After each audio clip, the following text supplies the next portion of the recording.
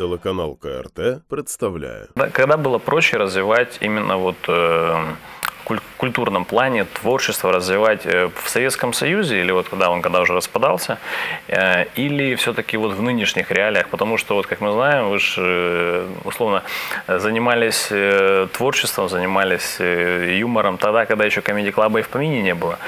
А, вот. И тем не менее, вы же тогда застали, когда, как можно было самореализоваться тогда в этом направлении, и как можно реализоваться сейчас в этом направлении. Вот мне интересно, Мы вот как вот занимались в иностранно-церковном училище в коридоре. Вот то, что сейчас показывают там, мы это прошли с Владимиром Александровичем и много наших коллег, мы это показывали в коридоре. Это наши капустники Этюдики, капустники, да. Вы понимаете, э, тогда, лично вот что касается нас с Володей, нам было очень сложно в Советском Союзе, когда мы жили, нам было очень сложно выбиться. Почему? Потому что нас давили народные нас давили, не буду называть имен, потому что их сейчас Ну, нет. артистов было много, да, и, Э, Передач юмористических было мало. Попасть и было попасть в них невозможно было, да. И было нам очень сложно. Еще худсоветы. Э, Когда еще, да, даже когда мы вдвоем уже работали, допустим, концерт э, Ивашка тогда был. Помните, после Щербицкого был Ивашка. Ну, Он был первый. время, Да, да, да, да, да. Ты первый секретарь Первый. Компартии. Вот уже нам посчастливилось выступать перед ним на 8 марта. Нас выпустили как молодым же ж везде у нас дорога. И вот мы уже в дуэте вышли с Владимиром Александровичем. И обязательно у нас цензор, обязательно брали номер и смотрели, чтобы, не дай бог, мы кого-то там не обидели. Вот они вырезали все смешное. Причем направленно вырезали все смешное и говорили, давайте вот, вот, вот без этого. Мы говорим, так, а номер о чем? Вы же сказали, что гумористы, а где ж гумор? Ты еще вопросы будешь задавать. Так мы тебе через пять минут, через секунду вычеркнем, и тебя в этом концерте не будет. А тогда выступить в правительственном концерте, это уже намек на звание. Ну, это статус, уже, да, это да, статус, случае, это еще- очень не звание, но это уже Но уже. Если понравился, то все в порядке. Вот. Ну, вот мы, а мы выходили с Владимиром Александровичем. В зале в этом самом, за кулисами стояли люди в черненьком. Мы выходили и работали. И, допустим, мне по номеру надо э, положить руку в карман, засунуть. Мне говорили, руки!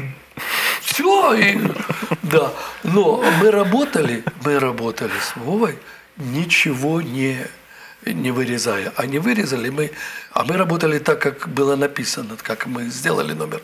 И когда он смеялся, а тем более еще сделал вот так, они выходят, молодцы, молодцы. Вот видите, вы учли наши замечания. Не все. А работать стало нам легче, конечно, э, после 90-х. Вот 90-й, 91-й, когда мы ушли на вольные хлеба. Вот тогда нам стало легче работать намного. Владимир Александрович, прод- продолжи ты. Ну, а, пожалуйста. а самый расцвет, наверное, вот, скажем так, массовый расцвет э, украинского искусства, и эстрадного, и театрального, и, я не побоюсь этого слова, и, классического, да, и, и оперного, это все-таки вот в э, период Леонида Даниловича Кучмы. Это был расцвет.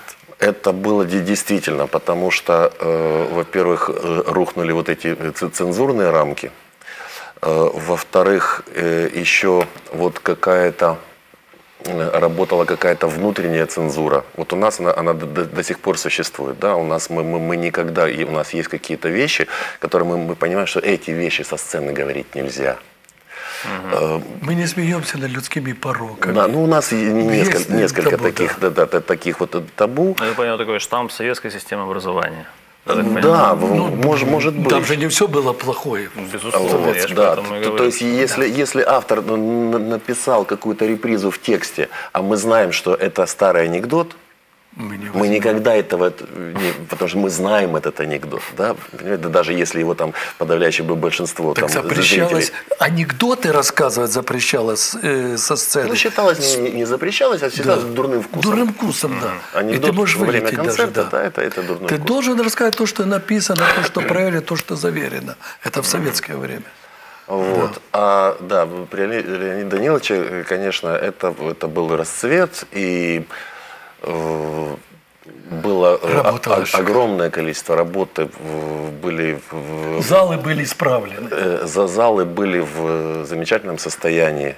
Э, То есть, ну вот, и потом, вот, как ни стало, по- поэтому мы вспоминаем эти времена с таким каким-то, с ностальгией такой хорошей. Это, наверное, был первый президент, который смеялся на выступлениях юмористов. Искренне, да. Искренне. Леонид Данилович Кучма. Причем он любил артистов. Он посещал очень часто концерты. Он посещал тв- вечера, там, допустим, Злотник Саша, или там тот же Рябчинский Юра, или э, Ротар. Он любил артистов, он до сих пор любит артистов. Причем для него не было, он любил артистов как своих, украинских, так любил и российских, и казахских, и белорусских, да. зарубежных. Все приезжали, все А выступали. вы вот тогда и, в принципе, вот вообще могли представить, что у нас в Украине когда-нибудь будет такая ситуация, когда будут какие-то банды бродячих патриотов э, бегать жизни. за артистами и срывать концерты? Никогда. Никогда. Причем э, никогда не могли представить, что может возникнуть такая ситуация. Вот, вот у нас в феврале э, 15 концертов э, с- сорвали здесь, в нашей родной стране.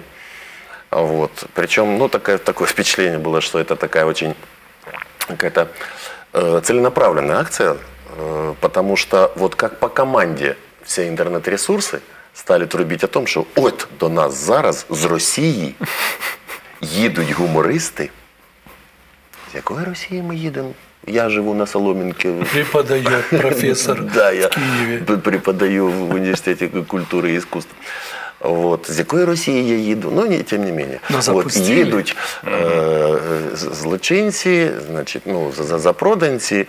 Вот, это понятно. Э, Поддержали Крым почему-то мы. Аннексию. Ф- Аннексию. ФСБшники, Выступали ФСБшники, бы- ФСБшники ж, наверное. Ну, Да, в 18-му році виступали на сторіччі комсомолу, дню комсомолу. Смонтировали ролик, где в- по- похожие на нас люди, то есть невооруженным глазом видно, что Это не мы- мы. это не мы, э, кричат Ленин, партия, комсомол. Ну, это, то есть это нужно было- кому-то было. Кого-то надо. Кому-то было. И потом, как по мановению волшебной палочки, раз, и, и все это прекратилось.